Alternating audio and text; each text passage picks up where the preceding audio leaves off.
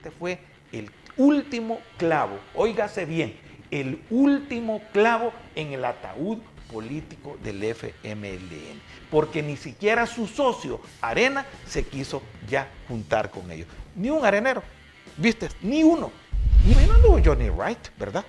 Ahí no anduvo la Claudia Ortiz, que es las arenas concurrentes, le llamo yo, las arenas escindidas, el Nuestro Tiempo, el Partido de los Artistas, el Partido de los que nacieron muertos, eso, ni eso, que son las arenitas, ni arena, matriz, que ya está muriéndose también, acaban de renunciar esta semana pasada, otro alcalde y más concejales, ahí en el oriente del, país. sí.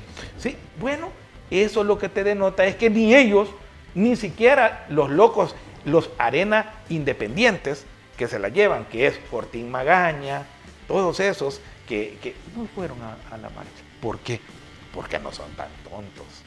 Porque la convocatoria se hizo para defender pandilleros y ellos no iban a mancharse en medio de ese escenario. Ellos tienen el, ay, contra el régimen de excepción, porque a ellos no les gusta el régimen de excepción porque no les gustan los resultados.